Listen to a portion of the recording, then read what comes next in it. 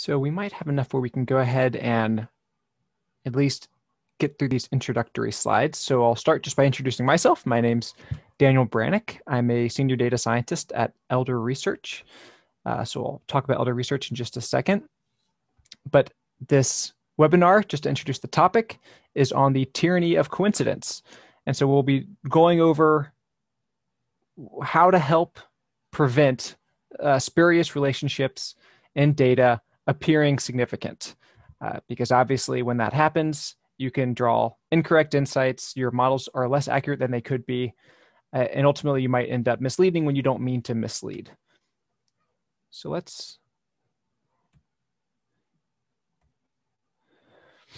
First, at the top, we'd just like to do a quick plug for the KNIME Fall Summit. So I, I went to the last couple fall summits that were not virtual uh, in the US, and they were great, highly recommended. Uh, this one, I guess, will be online, but I'm sure it'll be great as well. So I would encourage you all to go to the link and check that out. So just a little bit about Elder Research before we begin. So uh, Elder Research is, is really one of the first, if not the first, uh, boutique data science consultancy in the United States. So we've got 25 years plus uh, doing data science work uh, exclusively. And then we have o- over 90 experts uh, in data science who, who work for us. We've got five locations, mostly along the eastern coast of the US, but also an office in, in London in the UK.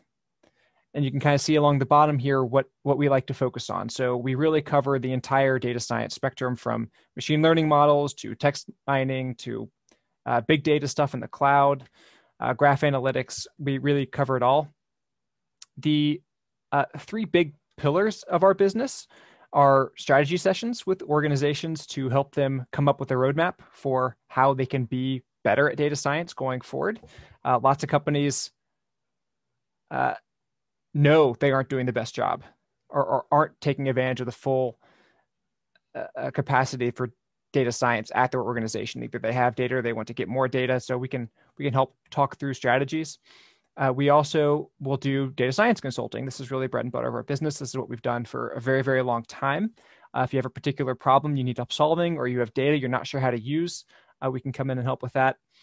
And then also, we do a lot of analytics training. So this is corporate trainings. This is uh, on-site training for, for government clients. Uh, this ranges from a day to two days to you know 12 week courses where, where employees can can take a course every week and, and really take business analyst skills and try and morph them into something that might have a little more rigor uh, and more towards the data science end of uh, that spectrum. So that's a little bit about Elder Research. I won't harp on it.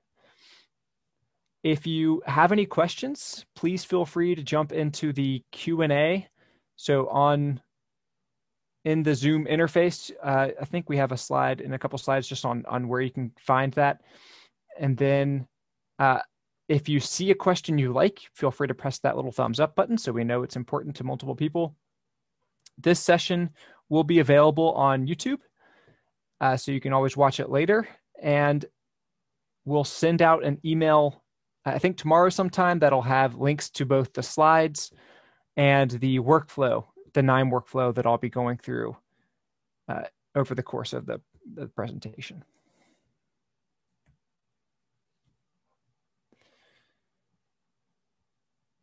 So uh, here's where you can get to that Q&A. If, I think it's, well, if you can't find it, I, well, if you can't find it, I guess you can't ask, can you? I don't think it's too hard to find in the Zoom interface. Uh, it, for me, it's along the top when I when I look at the little scroll down. For you, it might be along the right, but we trust that you'll be able to find it. Oh, along the bottom. There you go. Along the bottom, and then you can type your question in the in the box. And I either will answer it live, or someone might get back to you right away uh, with a text response. Uh, if if whoever's manning the answers can't answer it right away, then then I'll address it uh, live at some point. Okay, so how Science Goes Wrong was a, a big article in The Economist uh, years and years ago. The problem obviously started long before that, even. Uh, but this is just one symptom of a larger issue. And, and what this article was talking about was scientific studies publishing results with p values, right? So I think we're all relatively familiar with statistics p values. You know, if something has a low p value, then it should be unlikely to be by chance. It should be a real result if it has a low p value. But what people were finding was that these studies were published with very low p values. And when people tried to reproduce them, they were not getting those same p values. And not only that, but they were seeing a smaller effect size, uh, sometimes the opposite effect size, and it was across multiple domains. It was in psychology, it was in chemistry, it was in biology. And you can imagine why this was happening. You have t- thousands, tens of thousands of people, researchers studying uh, science in their domain all the time. And only significant results get published. No one, or it used to be, that no one would publish a result saying, hey, we tested this thing, and turns out, nah, there's not much there. So when only significant results are published, uh, anything that looked significant just by chance is going to get published, and anything that looked insignificant because it wasn't significant is just not going to get published and it's not going to get seen. And so this is a result from 2015 where they tried to reproduce psychology studies. And what they found was that among those they could even reproduce the methodology, the effect size was certainly not reproduced. So along the x-axis there, you see the original effect size, and then the diagonal line would be where the effect size should be uh, if it's equal to the replicated effect. Uh, if the original effect and the replicated effect are equal, and you can see that in all of these red dots, the original effect size was higher than the replicated effect size. So that's that's obviously a problem, and it's a problem for a few reasons. One of them is that, you know, maybe it's harder to trust some of these scientific studies unless you can really read the details and get into the weeds and look at how the analysis was done. But the other reason it's dangerous, and so this is a more recent article in Nature from 2018, is that it it throws into a question all of these scientific studies. So just like tobacco lobbyists used to try and muddy the waters about how dangerous cigarettes were, we have more modern examples like climate change deniers, uh, where people can say, "Well, look at all these studies that that weren't reproduced. Therefore, we can uh, dismiss all of them outright. And so that that obviously is dangerous because if we can't trust scientists to study the science, then then who can we trust to study the science? So this is a far-reaching problem, but it's not only a problem for research scientists. This is a problem that uh, affects us. Uh, maybe you are a research scientist. I am not a research scientist. Uh, in the data science field, we do lots of different tests for significance. Uh, we do lots of different comparisons. And so here's just a few ways that this same problem, where you have lots of different comparisons, so some look uh, significant by chance, can affect us in our daily lives, so or in our daily analysis. If you have 300 variables, which I think is common and becoming increasingly common in the data we have access to now. If you have 300 variables and you're going to check all of them for whether or not they're significantly related to some target variable, some of them might look significant just by chance. Uh, let's say you also set up a grid search, either in, in KNIME or in some other platform, to compare the, the accuracies of a thousand models. This might give you an inflated expectation of accuracy uh, even a single variable that has 50 categories. So, so, if you have data from America and you're using the state or the residence of uh, some subject, that can be in and of itself uh, dangerous, especially with some techniques that we'll talk about in a bit. And then finally, this is a common thing that we see, uh, especially among business analysts, is just relying on cross validation to get your final evaluation accuracy. Uh, and that can be really dangerous as well, even if you think you're following all the best practices. So we'll talk about each of these in turn and kind of what we can do to uh, give ourselves more realistic expectations. So the first step is to recognize and understand the problem, right? So one of the big problems here is vast search. If we test enough hypotheses, some are going to look significant just by chance, right? So we've covered that. And the challenge here is that although any p-value constitutes a test, not every test that we perform actually has a p value. If you're comparing the results of two models to see which is more accurate, that is a test. That you're you're you're making some judgment. But you're not you're probably not calculating a p-value to see the likelihood that one test one model is better than the other. It's just a comparison you're making and you're eyeballing it. Uh, the other thing that, that compounds this problem is that humans are incredibly good at making a story for almost anything. Uh, you know, it, it's we are required to understand the world as best we can to function. Uh, but that skill at creating stories has really profound impacts on how we analyze data. So here's just one example. We there's a, a public autism data set that we use in a lot of our trainings. And the goal of the data set is to predict from characteristics taken at birth whether or not a child will eventually be diagnosed with autism. And one of those variables is the socioeconomic status of the family that the child was born into. And sometimes when I teach this course, I forget whether a higher number, so the socioeconomic economic status in this data is just listed from zero to 10, it's an integer uh, variable. And sometimes I forget whether a higher number means richer or a higher number means poorer. And so when we teach this data, sometimes it can look like a higher number is associated with higher rates of autism, or a, a higher socioeconomic status is associated with higher rates of autism. And sometimes it looks like a lower socioeconomic status is associated with higher rates of autism. And in either case, students can always come up with a story to to answer why that might be the case. So if it's a lower economic status associated with higher rates of autism, then they'll say that you know a poor family has may have worse diet, they may have financial stress in the family, they may have poor health care, and so that's resulting in these autistic cases. Meanwhile, if you have the richer families having a higher case of autism, then you might have a, a case where it's just being detected more often. Maybe an affluent family is more likely to have their child formally diagnosed with autism. So both of these stories make complete sense, and yet they're completely opposite. So you can use your data to justify just about any story. And in case you're curious, the data we're working with, it's actually the first story or the first claim that ends up being true. Uh, but who knows the accurate reason behind it? That story is just one that we made up. So, what can we do to protect ourselves against this problem? One technique is called target shuffling. And so, this is something that John Elder, the founder of Elder Research, sort of rediscovered. He he came up with it independently and then found, oh, well, somebody else actually came up with it independently before I did. So he likes to say he rediscovered this technique. But the basic idea here is we want to compare the strength of our result, be it the accuracy of a model or something else. We want to compare the strength of our result to the likely strength that we can expect via random chance. And so target shuffling involves these five steps. First, you build a model. Uh, you know, you you do your feature selection, you do your cross validation, you do your holdout sample, whatever it is that you want to do, and then you determine your model's strength. So that could be R squared, it could be correlation, it could be explanatory power. But let's say you build a model and you're, you're going to use R squared and it has an R squared of 0.8 you essentially write down that 0.8. Uh, in KNIME, we have a target shuffling node, uh, due in large part to John Elder asking for one. So we have a target shuffling node that will take your data and shuffle just the target vector.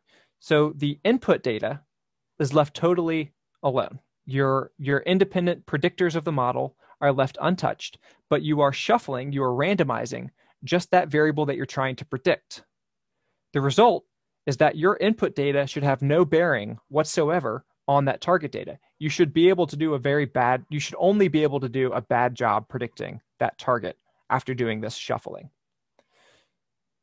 Once you have the shuffled data, you do the same exact process that you did for your real data. You search for the best model, you do your cross validation, you do your feature selection, you do your holdout sample, and you try and, and, and you write down uh, how well did I do? Essentially. So let's say you shuffle the data and you get a new point, you get a new R squared of 0.55. Uh, or actually, that's unlikely. After shuffling the data, let's say you get an R squared of 0.1. You then write down that 0.1 and you throw out the model. The model doesn't mean, mean anything. And you repeat, you repeat steps two and three until you've done it enough times to build a reasonable distribution. So let's say you do this 100 times, which means you have shuffled the data 100 times, you have built this fake model 100 times, and you have a distribution of fake results. So you might have a model with an R squared of 0.1, a model with an R squared of 0.15, an R, an R, a model with an R squared of 0.02. And then you compare your real R squared to this distribution of R squareds. And what you should find, if you've done a good job building your model and your data is actually useful for predicting your target, you should find that your real model beats is better than all of these fake models. It's it should be better than the R squared from all of these uh, randomly shuffled input, uh, all these randomly shuffled uh, pieces of data. And so we call uh, uh, the the distribution of strengths the best apparent discoveries, and you uh, essentially this is your more accurate p-value right? So if you have if you're wanting to use a p-value of 0.05 then you should be trying to beat 95% of these shuffled uh, iterations.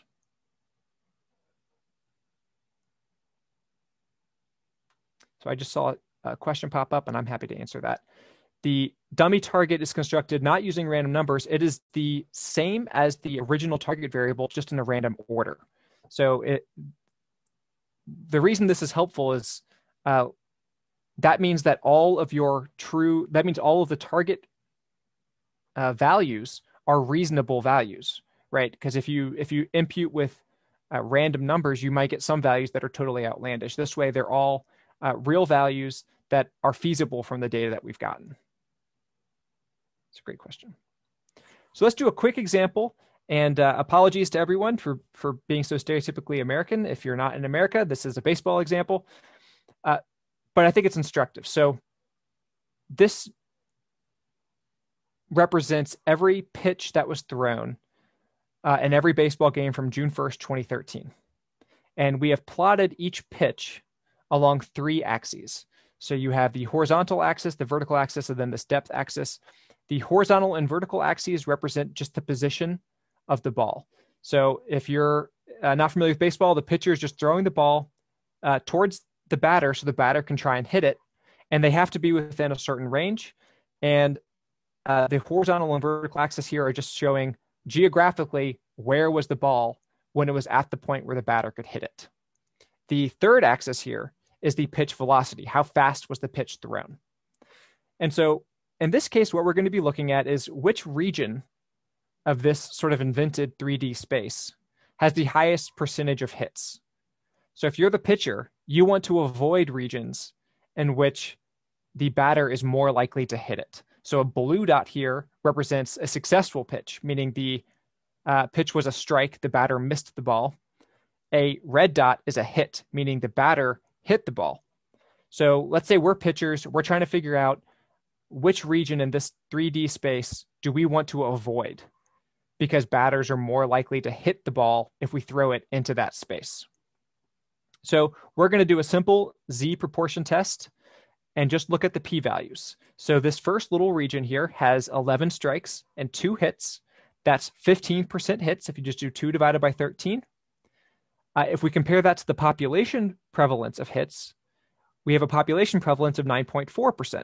So our p-value here is 0.4. It's a pretty low sample size. It's unlikely or, or it's, it's pretty likely that this happened by random chance. Uh, so we can find a new region. In this region, we have one hit and 17 strikes. So that's only 5.6%. But again, due to the low sample size, uh, this actually isn't that unusual. Uh, it's got a p-value of 0.56. That's still a pretty high p-value. And we go through every single region in the data here until finally, so there's a total of 41, we find the one with the lowest p-value. And so that happens to be this box here, in which there are 28 strikes and nine hits. Now, that results in a hit percentage of 24%. That is statistically significantly greater than the population prevalence of 9.4% hits. So at first glance, it seems like, hey, there's only a 0.35% chance that this happened uh, just randomly. So as a pitcher, we're thinking we don't want to throw the ball into this region at that speed.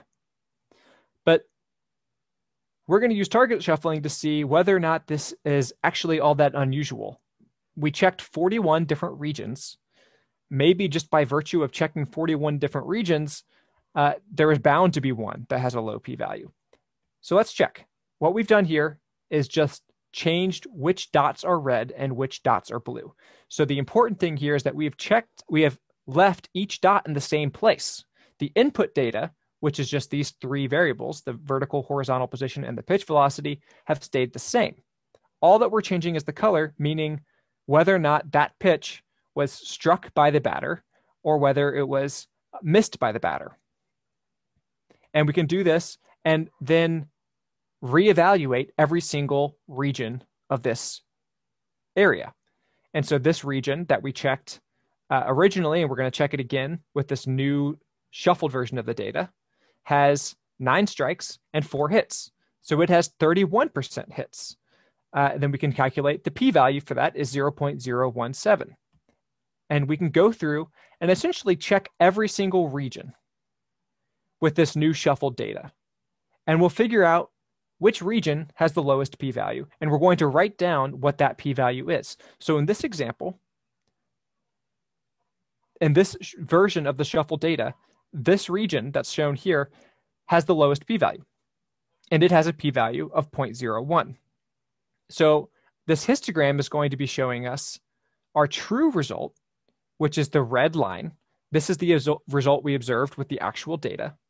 And then the blue bars are going to represent results that we saw in randomly shuffled data. So we want our true p value to be much lower than the p values that we're getting after randomly shuffling shuffling the data. Because after randomly shuffling the data, no region should be any different than the population. All the regions should have the same probability of a batter hitting the ball.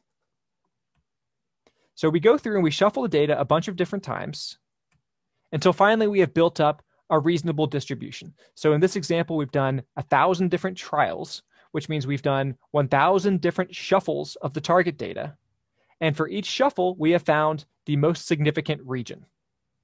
And then we've plotted the p-value for that most significant region on this histogram. And you can see that our true result only beats about 82% of the random shuffles, meaning over 18% of the time, random data generated a result more extreme than the one we observed in the true data, which suggests that maybe our true data isn't actually that extreme of a result. As a pitcher who is analyzing this data, I would say, well, then I'm not going to put a lot of stock in these results. If there's a 20% chance almost that this was just random chance, then I'm not going to change how I pitch to accommodate the recommendations put forth by, by this data. So that's the idea behind target shuffling. And this is just one example. Uh, we're going to show more examples here in KNIME that I think will be uh, more relevant to what what you guys do because I, I assume that the vast majority of you are not professional pitchers in baseball. So let's I'm going to drag the KNIME workflow on here and introduce this uh, introduce this simulated data. So we like to use simulated data, uh, and please throw in the chat uh, or in the questions. I, I, if this is too small or if you need me to to go back and look at something, but we like to use simulated data because then no one can invent a story that explains some variable. So if we use the autism data, for instance, uh, and we tried to say that we know this feature isn't important, then somebody might chime in and say, well, hold on, have you considered such and such a reason why that variable might be important? So, no, we're not going to bother with it. We're going to do simulated data and we're going to generate a bunch of random variables. And so these are just some components that I made. Uh, we've got 25 uniform variables, 25 Gaussian variables. These are all just generating random distributions. Uh, we've got one categorical feature with 50 levels, and then a another categorical feature with 20 levels. Uh, and we're going to generate all of these variables for uh, 2000 observations. So when we append all these variables together, this is what it ends up looking like. We have a bunch of random variables. This is, uh, and they go from uniform one all the way over to you know, uniform 25 and then Gaussian 1 over to Gaussian 25. These are all just completely random. Uh, and then we have these two categorical predictors here that take on uh, this string value of class 1, class 2, class 3, and so on. The rule engine and math formula nodes uh, we're using to define a target variable. So if we go into this math formula node, we can see that we are using Gaussian 1, normal 1, and then a categorical effect to define our target variable. And then we're adding a random term in here because life isn't perfect. And so if we didn't include a random term, it'd be really easy to predict this data, but that's not at all realistic. Uh, the thing to know here uh, is that the categorical effect is from the second class of the first categorical variable. Uh, that's just to introduce the idea that categorical features can be important, and we'll come back to that in a bit. The main thing to remember is that Gaussian 1 and uniform 1 are the only continuous variables being used to define the target. Meaning, if any other continuous variables are predictive of the target, it's just by random chance.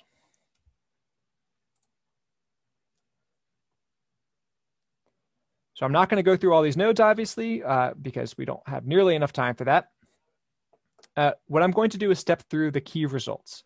And so we're going to partition the data here into test and train. And we're going to send the training data up to a linear regression learner. The I'd like to cover, uh, this is using four quick examples uh, of different feature selection techniques. And so the most common feature selection technique that we see when we go on site somewhere is the one that you learn in you know your introductory statistics class it makes sense you plug in all your models into a linear or all your variables into a linear regression and you just try and determine which ones have a low p value which ones are statistically significant. Anything with a high p value we throw out. Anything with a low p value we keep in the model right? That's that's what you're taught in school. And so let's look at the coefficients for this model. Oh appeared on a different screen. And so we're going to sort these, co- oh, all right, I'd already done it. Sort these coefficients by their p-value. And we can see, hey, great, uniform one and Gaussian one both have very low p-values, which suggests these are predictive variables. That's perfect. We designed this data in such a way that we know that those two are indeed important. But the most common p-value that we see used is 0.05. So we would actually keep any variables below 0.05. In this case, any reasonable p-value would probably dictate you include uniform 22 and Gaussian 24. But we made this data. We know uniform 22 and Gaussian 24 have no bearing whatsoever on the target. Uh, so this is misleading, right? Because we're going to build this model with two variables and think that they're very important when in actuality they're not even remotely important. The other thing to point out is that all of these different categorical things look pot, potentially important, but if we use a p-value of 0.05, we'll cut it off here. These three features are not important.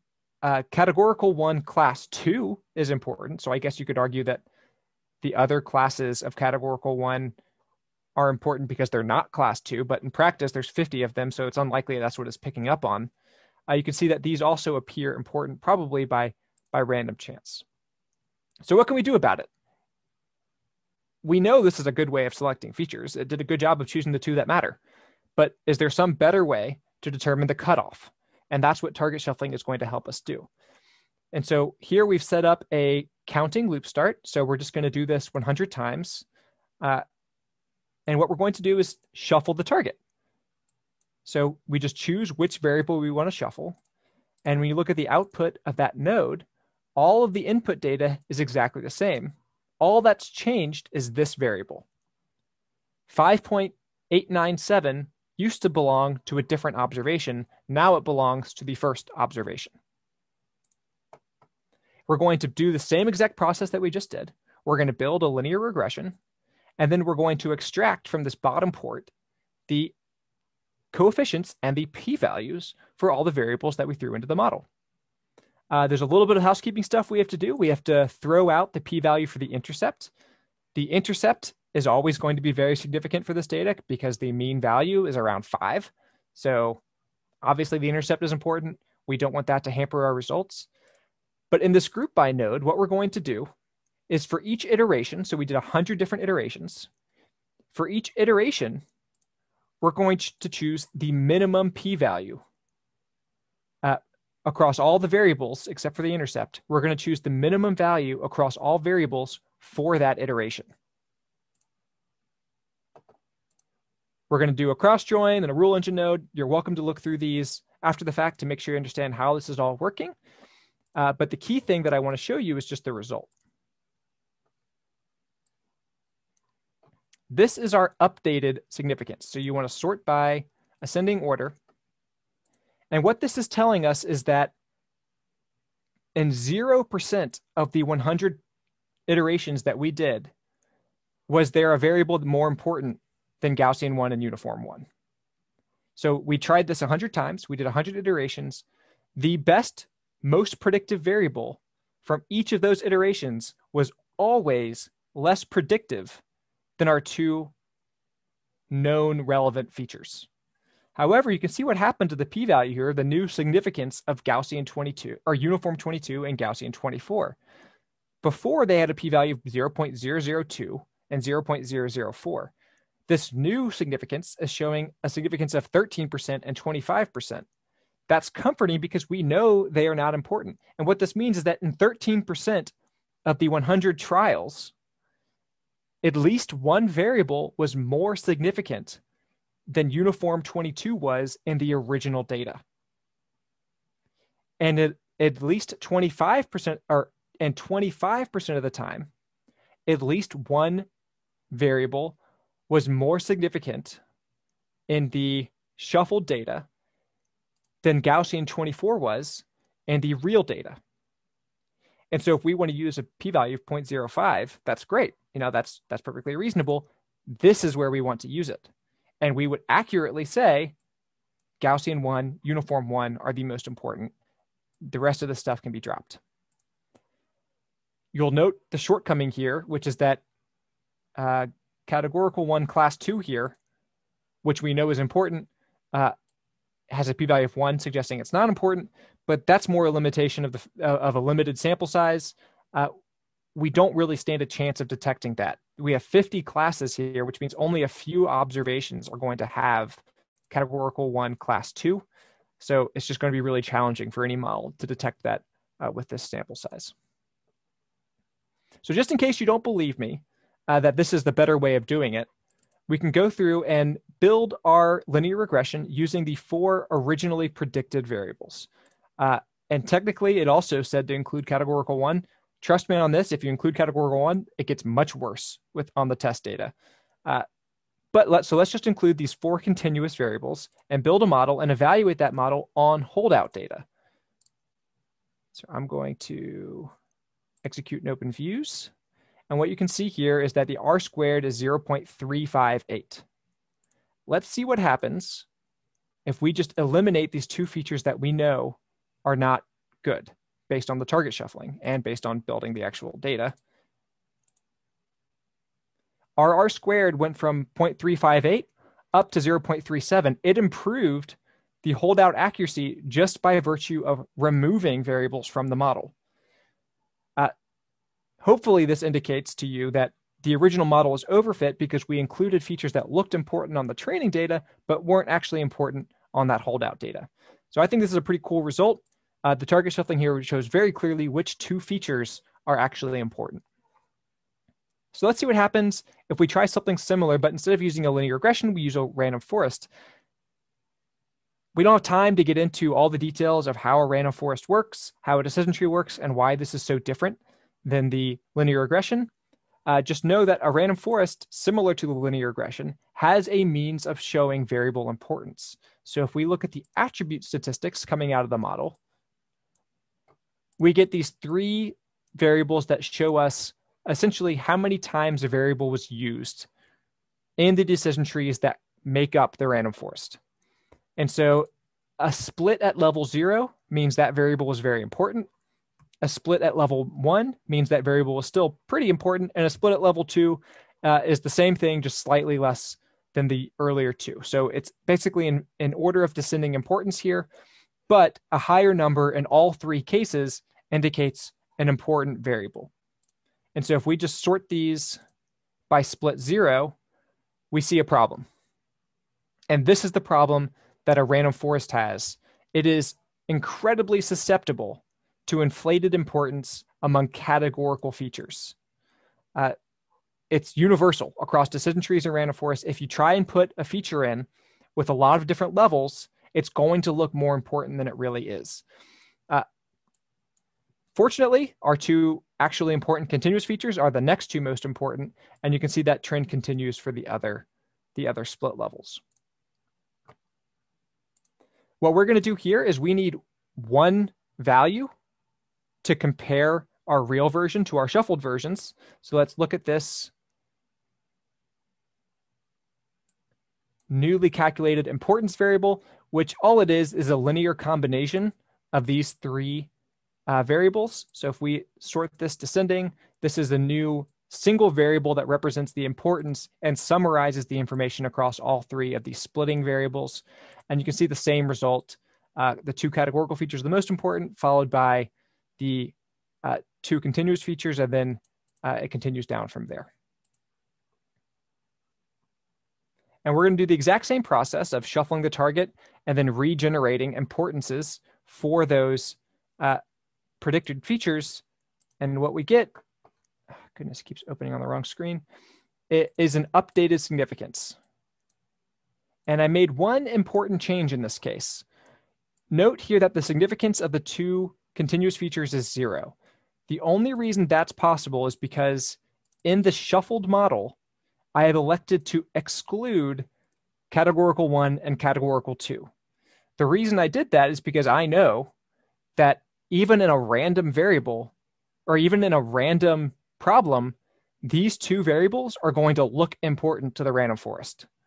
So when you're comparing accuracies across different variable types, just be very aware of the limitations of the algorithm you're using. In this case, a random forest is very limited uh, by categorical features.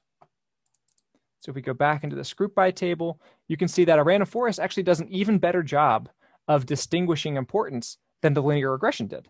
It basically gives every single variable a value of either zero or one.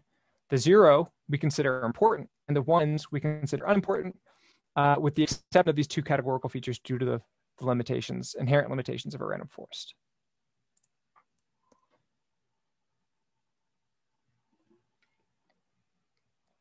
So hopefully that makes sense.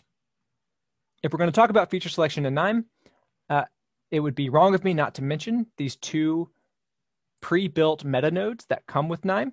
So there's the forward feature selection meta node and the backward feature selection meta node. Uh, I actually really like these nodes.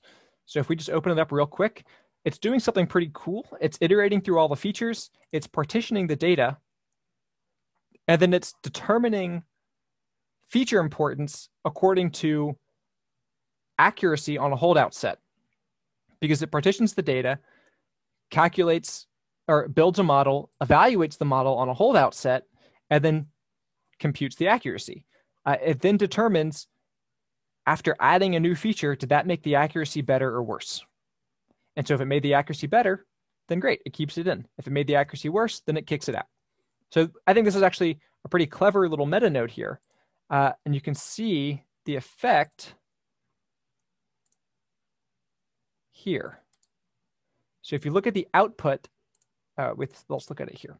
If you look at the output of the forward feature selection bottom output node, what it does is it filters the data for you. And so here it has filtered all the variables that it thinks are important. So obviously there's a problem here. We know we only have two important features and yet it chose 51 features to include in the model.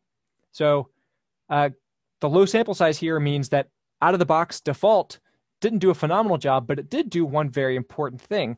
It did drop the categorical features because those things were so detrimental to the validation accuracy that it knew it needs to get rid of those categorical features. So uh, this did a good job of eliminating the features that are certainly harmful to the model, but maybe was overly inclusive uh, of the features that that should not have been included.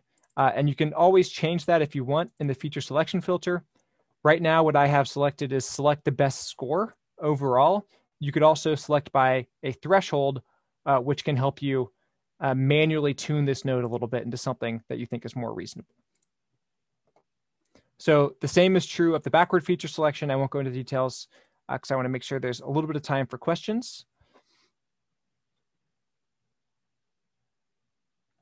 The, the other thing I would say is that you can plug in different models here. I, I included the random forest learner and predictor here to illustrate that even though random forests do a bad job with categorical features, this method of using random forests actually was successful at removing those categorical features. So it's a pretty neat, pretty neat little setup that that KNIME has with these feature selection meta nodes.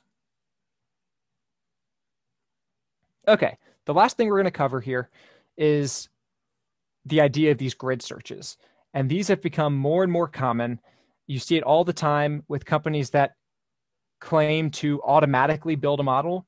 Hey, just give us the data and we will automatically uh, build the best possible model. And we're going to try it on linear regressions. We're going to try it on a random forest. We're going to build neural network, SVMs. We're going to do everything in the in the playbook here and determine the best possible model.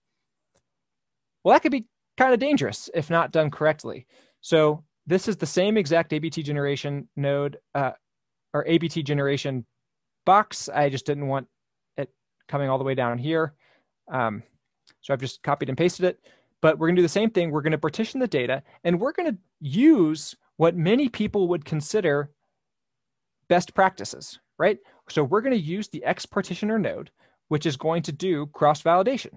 And we're going to, let me see, I think we're only doing threefold, uh, twofold cross validation because this was taking a long time to run. Uh, but obviously you could increase that. But we're going to do cross validation and determine what is the best possible configuration of this gradient boosted trees node to give us the most accurate model. So if you've never used these parameter optimization loop start and parameter optimization loop end nodes, they're really, really cool. Uh, so if you open one up, you can basically specify uh, uh, different flow variables, and we're going to basically evaluate a bunch of different models. So we're going to go uh, if you're familiar with how gradient boosted trees work, we're going to try 200 trees up to 400 trees, iterating by 50. So we're going to try 200, 250, 300, 350, 400. We're going to try different depths of the composite decision trees. We're going to use a bunch of different learning rates. We're going to try 0.05, 0.1, 0.15, and then we're going to try different data fractions, which is uh, referring to the bootstrap sampling that happens between the different models. So the important thing, the important takeaway here is we're going to build a bunch of different models and compare the accuracies. And the accuracies that we're comparing are derived from cross validation. We see this all the time. People want to use cross validation because it, they think it means, oh, if I use cross validation, I don't need to have a holdout set. You know, the training data is built on different data than it's being evaluated on. So we're done. So let's see what happens. Let's uh, let's build a bunch of different models. We're going to evaluate the models with cross validation, and then we're going to look at how accurate are those models.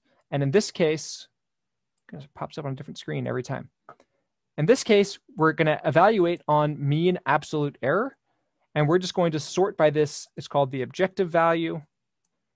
So if we sort by descending, these are the worst models. Uh, 250 trees, a learning rate of 0.15. If we sort by ascending, this is the best possible model. This is a model with 400 models, 400 trees, a max depth of those trees of five, uh, a relatively small learning rate of 0.05, and we're going to use 90% of the data for each composite tree that makes up the gradient boosted trees model. Okay. And oh, and what we what we expect to see because again, this is cross validation meaning the models were built and evaluated on different data.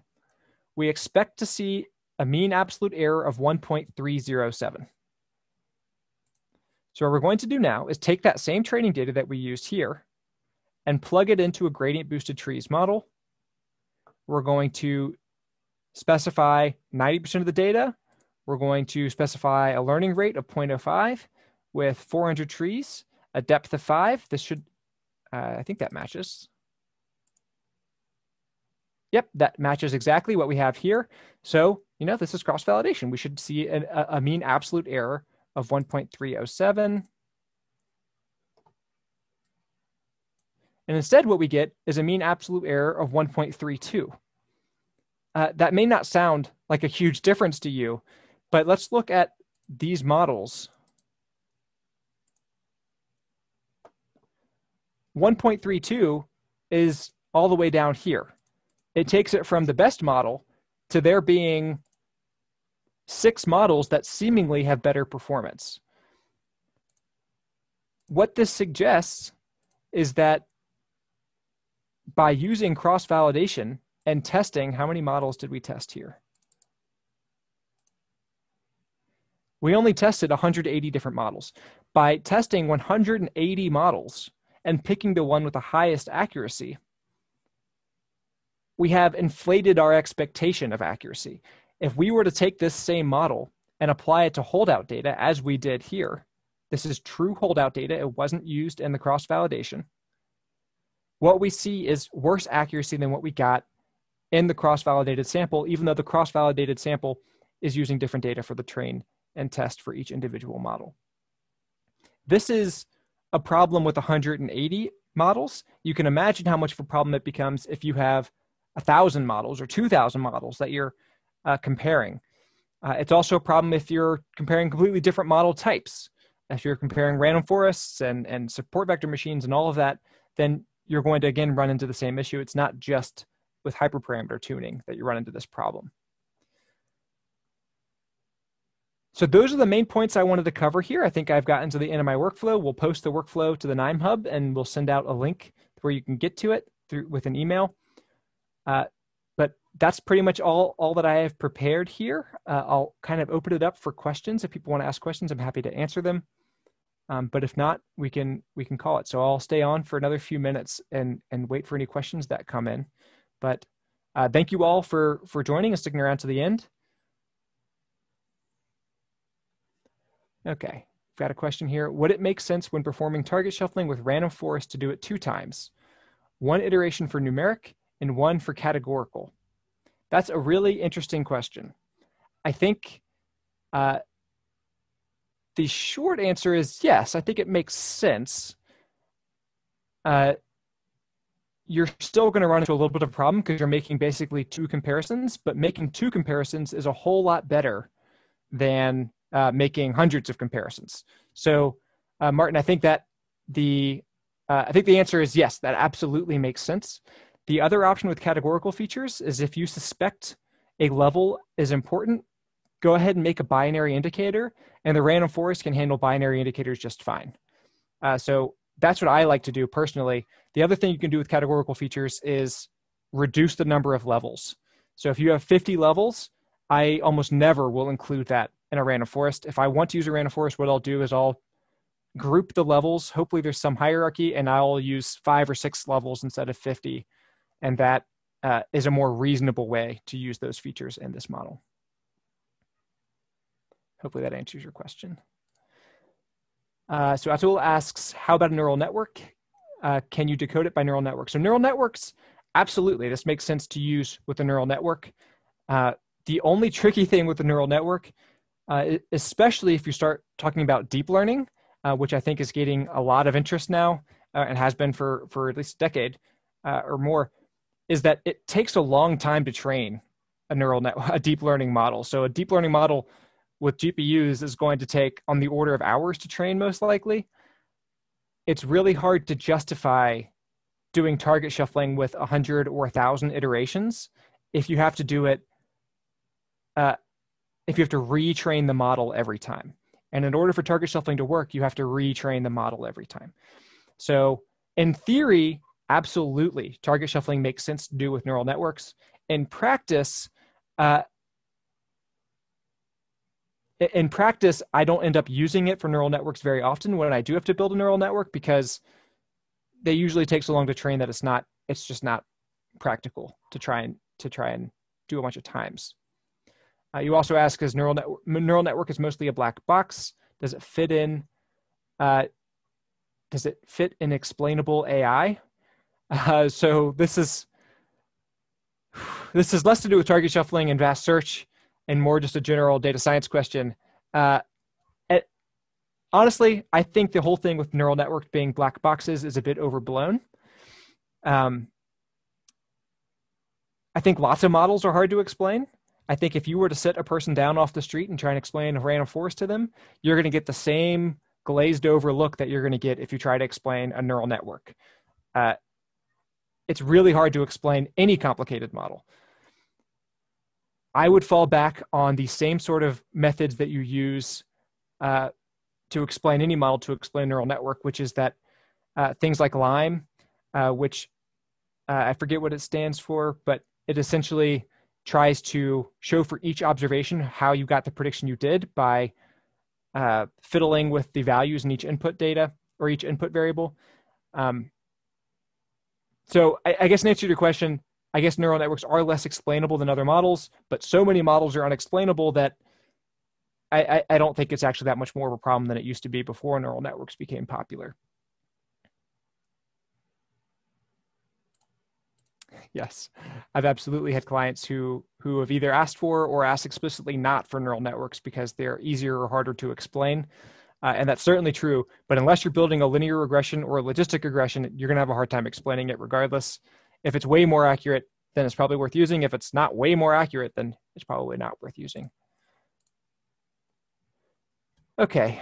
Uh, Luca asked, so after the optimization loop to find the best parameter for the algorithm, uh, these might not actually be the very best. How can we handle this? Great question. And I should have addressed it uh, when I went over the actual loop originally.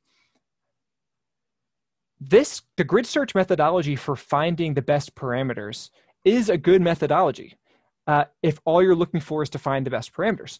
So with this all parameters loop, I have no reason to believe that this is not the best set of parameters. It could easily be the best set of parameters. All I'm saying, all the, the, the point of uh, what I was trying to get across was that even if this is the best set of parameters, don't trust the accuracy that comes out of that grid search uh, because the accuracy is going to be lower. Now, the best set of parameters is more likely to have a lower accuracy than a bad set of parameters is to have a low accuracy. So essentially they're all in the same playing field here, right? Every set of parameters is equally inhibited by this multiple iteration approach. Uh, and the result being you can you know reasonably trust that this is among the best set of parameters just don't trust the accuracy make sure you have a holdout set like i do here to evaluate the accuracy separately so then if you're building this for a client you can tell them we did grid search, we found the best model. This is the accuracy you can expect from it, not the one that came out of grid search. Um, but in sort of a more general answer to that question, uh, this is sort of a contrived examples. Most of these I don't expect to have a big impact on the model. The data fraction isn't going to swing it much more accurate or much less accurate. Uh, the learning rate is really the only one that's going to matter a lot here, which is why when I look at grid search, the thing I'm looking for is consistency you can see among the best models, it's almost always 0.05. To me, that suggests 0.05 is an important metric. The learning rate is an important metric, and I should be using 0.05. Uh, if you look at max depth, it's 5, 6, 4, 6, 3, 5, 3, 4. There's no consistency here. That's probably not an important metric. Same thing for data fraction is all over the place. That's probably not an important metric.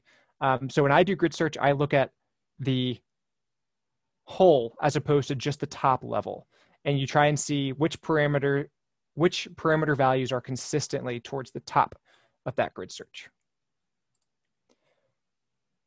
Uh, Atul asked about XGBoost. So in practice, XGBoost is going to be uh, pretty similar to the gradient boosted trees learner. Uh, there might be a way in KNIME of getting to that XGBoost. There's probably an H2O node or something. Uh, I have tried it. Uh, it works really, really well. That's why it wins so many Kaggle competitions. It's not any more explainable than neural networks. Uh, so yeah, I think it's a great algorithm. Um, yeah, I think it's a great algorithm. It's just, I, I don't know. The XG is just extreme gradient boost, um, which is just a, a, a faster and slightly more nuanced implementation of the gradient boosted algorithm. So I wouldn't get too hung up on the details between XGBoost and Gradient Boost. Can we see the time taken in this simulation? I'm not able to see it. I don't know. Maybe one of the KNIME folks can chime in. I don't know of a way of checking after the fact how long a loop took to run. Uh, I can tell you just, yeah, I don't. It, it took it took at least several minutes, uh, I, I, think, for this to run. These ones up here run relatively quickly, um, a couple minutes at most on my computer at least. This one took longer, maybe five minutes. Uh, I think I also decreased the samples. No, I didn't. I left it at 2000. Uh, if you increase the sample size, obviously it takes a lot longer. Uh, oh, one thing I did do was I removed the categorical features because those make all the trees take much longer to build uh, because of just how decision trees work. So that made it run a lot faster as well.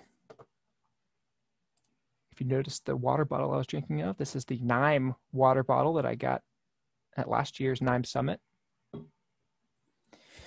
Can we view the dashboard in the mobile app also? I haven't. You're welcome.